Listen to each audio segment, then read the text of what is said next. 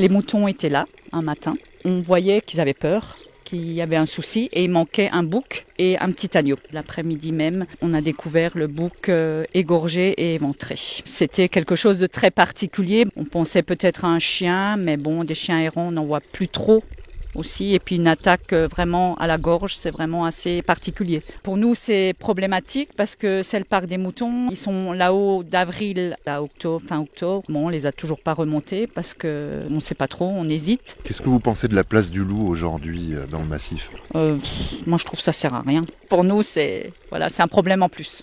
On en a déjà suffisamment. Retrouvez tout France Bleu sur francebleu.fr.